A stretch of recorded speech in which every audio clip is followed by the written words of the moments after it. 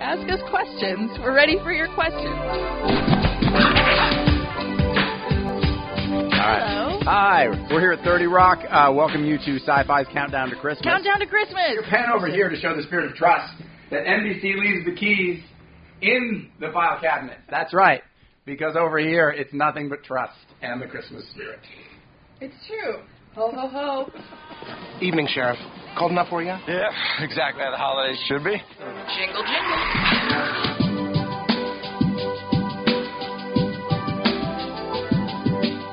Oh, yes. It was great. Uh, we worked with uh, Chris for um, the Christmas episode that we did this year. It was awesome. Hold it right there. What do you think you're doing? Hey, Joe.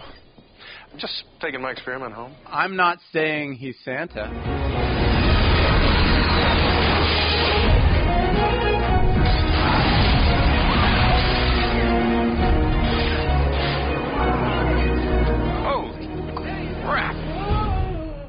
I'm not not saying it either. What do you think about that?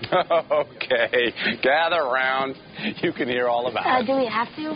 Sheriff Patch says yes. We've been blessed with some really nice guest stars this year. Sort of, uh, I mean, God bless the recession, right?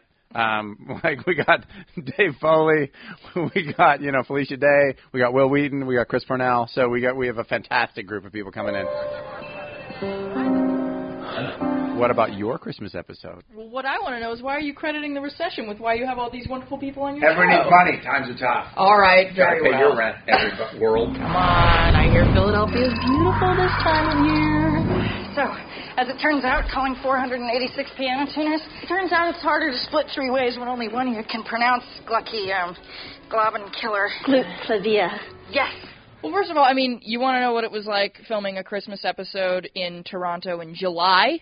Um, not very Christmassy, but no, it was it was awesome. I, I think I'm actually. Toronto and Christmas, not very Christmassy. Oh, that's not what I mean, That's what Colin. she means. That's not what I mean. I love She hates Toronto. Canadians. Th- stop spreading lies about me. I'm Canadian. I will take you away from the microphone. So, guys, this is the first time in ever I actually have people in my life to spend the holidays with. I figured we'd circle the Yule log and eat figgy pudding.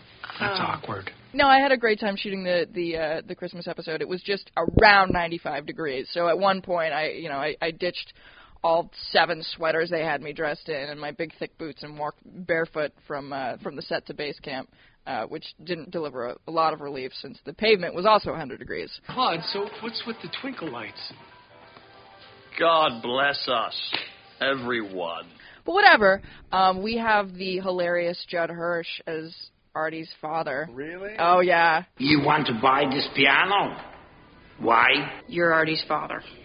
What? Oh, I forgot I had these in.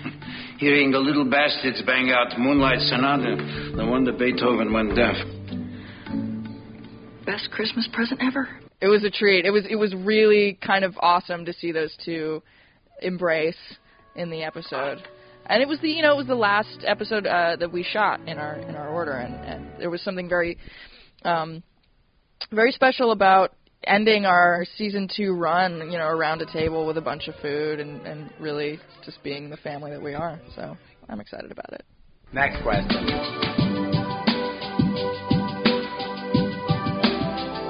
Can I help you? Mr. Claus, I presume?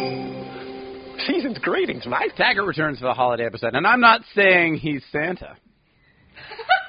I'm not saying he's not. On pioneering the field of Santology.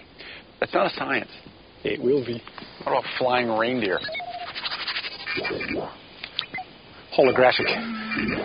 Misbehaving currently. He's actually been doing a lot of research into Santology, which is a mythical science which uh, involves the uh, science of Santa, what would it, what it would involve, how would you get a reindeer to fly, how would a sled fly, all that jazz. So um, he appears as a moving violation uh, in the beginning of the episode, and uh, I don't know.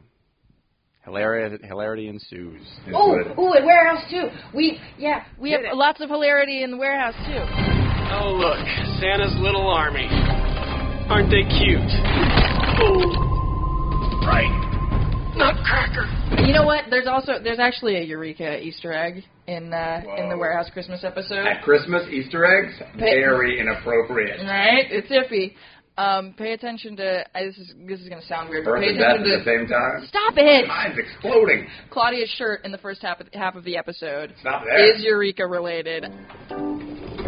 I like to think it was a Christmas present from Fargo. That ring you have, can it amplify anything other than human energy? Like, for instance, For instance, a laser. marry me. Happy holidays. Happy holidays. Have a very twisted Christmas from Colin Ferguson and Allison Scagliotti.